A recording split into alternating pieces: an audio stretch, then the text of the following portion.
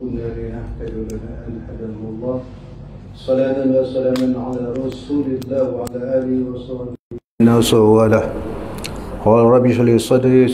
واحلل عقدة من لساني سبحانك لا علم لنا إلا ما علمتنا إنك أنت العليم الحكيم ولا حول ولا قوة إلا بالله العظيم ولا حول ولا قوة إلا بالله العظيم Saudara Imam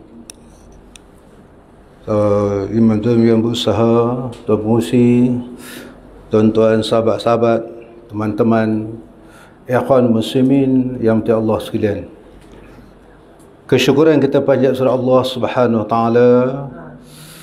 Malam ini kita masih dapat bersama Berada dalam satu ruang untuk melaksanakan satu pengibadatan kita si Allah Subhanahu wa taala kita sedang berada di penghujung Ramadan. Apakah kita rasa kita berada di penghujung Ramadan? Ramadan semakin dekat meninggalkan kita ataupun kita yang meninggalkan Ramadan terlebih dahulu?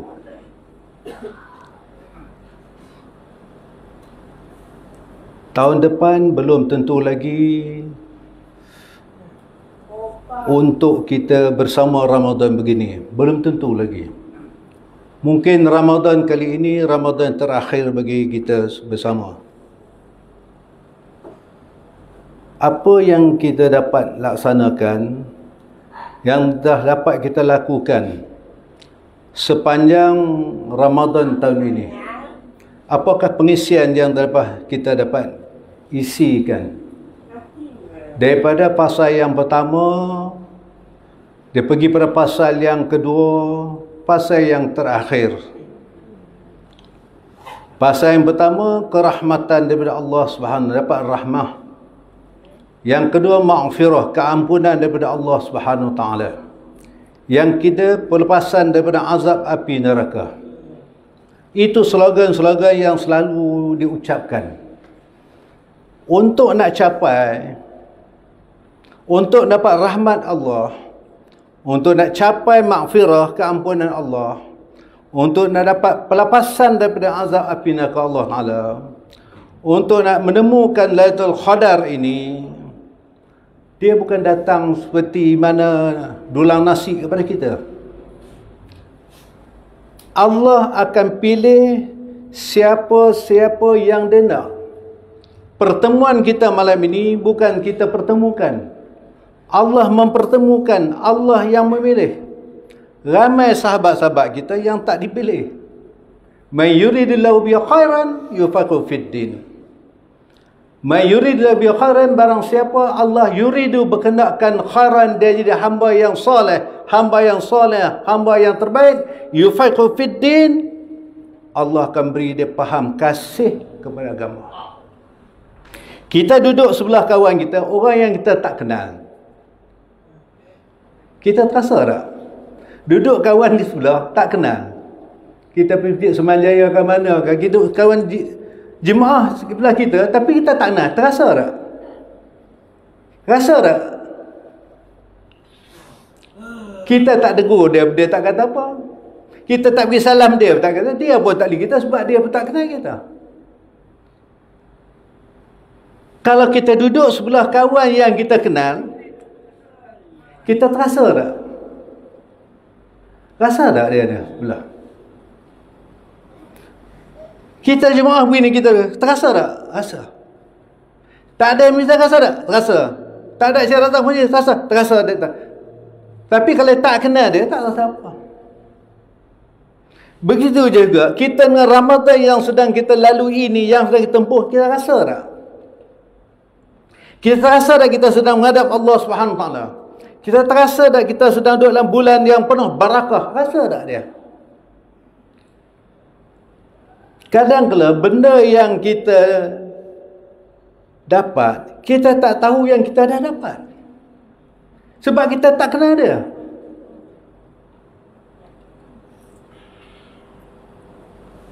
Pasal yang kita dapat rahmat daripada Allah SWT. Kita rasa tak kita dapat rahmat Allah Ta'ala? Padahal kita dah dapat, kita tak tahu kita sedang memiliki rahmat Allah. Maka sebab itu kita cek balik kekuatan apa yang ada pada kita ni kita dapat bertahan sepanjang Ramadan sehingga hari ini daripada Ramadan yang pertama tu malam dia datang kekuatan. Boleh bertadarus. Boleh bangun dua pagi masak bersahur. Kekuatan apa datang ni? Cuba cek balik Datang daripada kekuatan. Lepas maghrib dah letih, makan letih, semang balik. Bekerja hati terpaut dengan nak solat terus. Kekuatan apa? Kalau hari biasa tak mungkin kita dapat begini. Kekuatan apa? Nah? Inilah yang dinamakan rahmah. Inilah rahmah yang kita telah dianugerah oleh Allah Ta'ala kepada kita dalam rahmah ni dia ada barakah. Dalam barakah ni dia ada hikmah. Hikmah ini letak di hati. Bila hikmah dapat kita miliki kita dapat kecapi kita sayang kasih hati kita terpaut terpaut terpaut. Tiap-tiap orang ni semua balik ni ada main nak buat apa ni? Dia nak yang perempuan dia bersiap nak masuk sahur tu ada yang siap nak bertadarus. Nampak? Itu barakah nama dia. Tapi kita tahu kita dapat barakah. Sebab kita laksana tunaikan dengan iman. Bila kita menuhi tuntutan iman tadi, dia datang kekuatan. Itulah makna iman atasri bi qalbi wa ikrar bil lisan wal amalu bil arkan.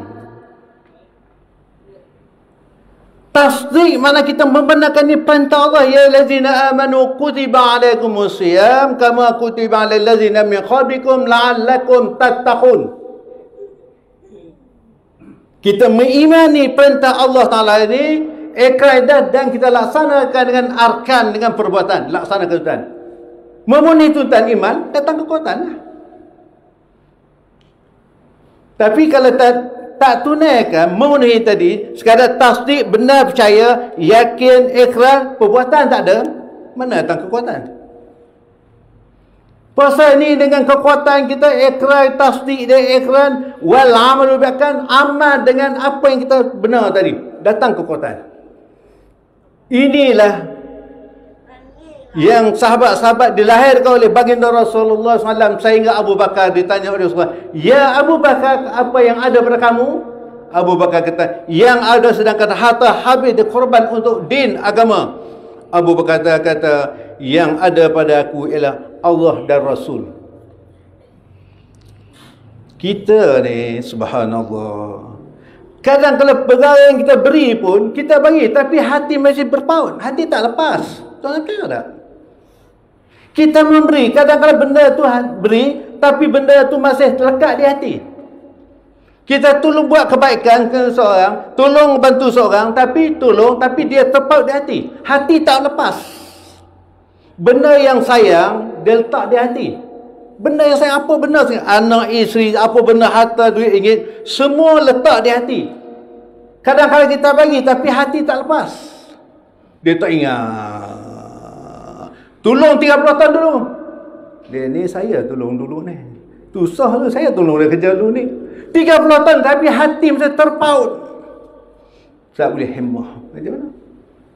Hati tak. Hati cukup jahat. Sebab kita tak didik dia. Sebab tu dia katakan la'allakum tatakhun proses sebelum bengkel Ramadan ini ialah untuk nak melahirkan insan yang bertakwa dengan Allah. Untuk nak bina break baru. Mata mesti ada break, penglihatan kena ada break, mulut kena ada break, hati juga kena break, telinga kena ada break. Malam ni saya nak pergi dua saja. Pertama kita mata ada dua. Jangan dua-dua mata ni kita pandang orang terus. Kita kalau lihat seseorang tadi bukan kita lihat baik, lihat kelemahan, lihat kekurangan seseorang. Mulai malam ni mata yang kanan lihatlah kebaikan seseorang. Mata yang kedua lihatlah kelemahan kita sendiri. Jangan dua-dua kita tengok orang. Tengok, kita satu mata guna untuk kita.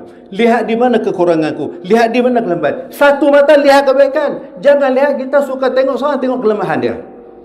Tengok kekurangan seorang.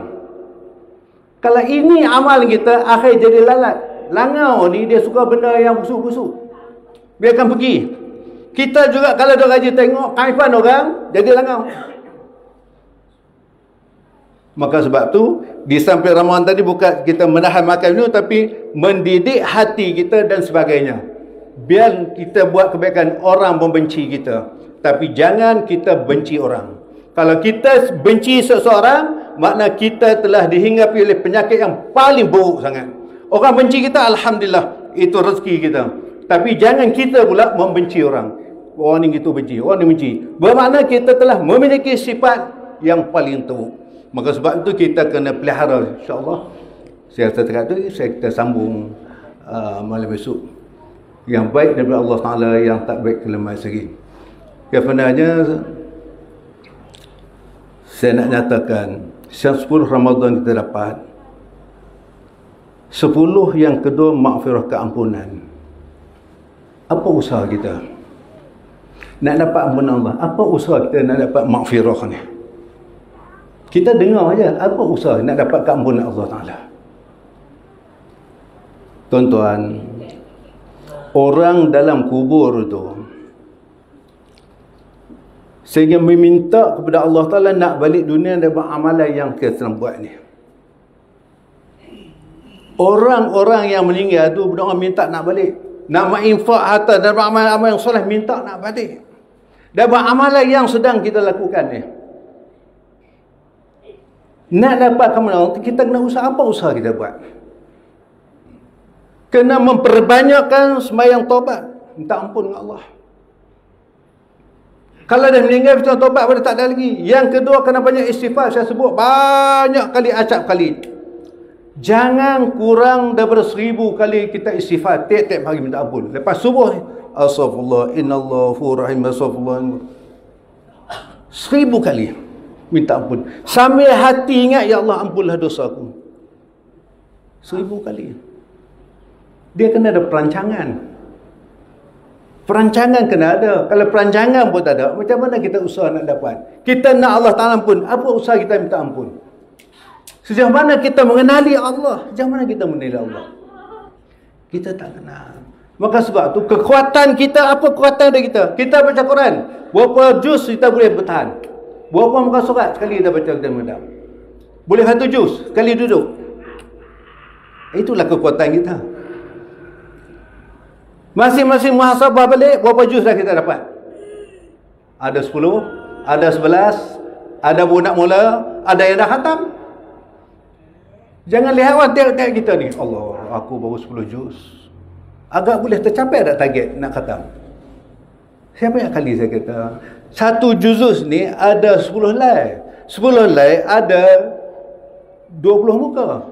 20 muka satu waktu baca dua lay, makna empat muka kali lima satu juz. Dua tak dapat ambil lepas sebelum yang paling baik Quran ni sebelum masuk waktu subuh. Lepas sebelum subuh, lepas subuh. Sebelum subuh, lepas subuh insya-Allah satu juz boleh dapat.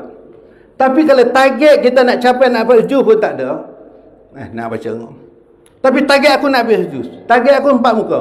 InsyaAllah capai lah. Tapi dah target tak ada. Perancangan kena ada. Perancangan kerja pun tak ada. Macam nak buat? Kita sedang buat kerja, sedang bucuk tanam. Bulan yang paling subur, nak beramal, inilah bulan dia. Cukup subur. Tapi kita tak kena bucuk tanam lah. Cucuk apakah benih yang paling baik kita tanam? Buat. Sebab di sini bukan nak nak kutip pengasil kita nak pengasil di sana sebab tu Allah tak bukakan hijab dia tak nampak Allah tak tunjukkan ganjaran yang besar sangat apa yang kita buat Tuhan tutup. Dia buka bila? Mana roh batang hakum nak keluar Allah akan buka. Mula dia nampak subhanallah besar yang jarang waktu itu saya bila lubang kubur aku parjak bagilah kau beli ni nak masalah aku nak buat mana salah habis. Ini ruang saki baki umur ada ni buat yang terbaik bukan yang baik yang terbaik Rasulullah ajar kita buat yang terbaik Untuk apa? Untuk kita lah, bukan untuk orang lain. Bukan untuk kita. Mana amila solen, paling nafsi. Wa man asaf fa'ala. Yang baik balik kita, yang jahat pun balik kita. Kain saya itu saja. Assalamualaikum warahmatullahi wabarakatuh.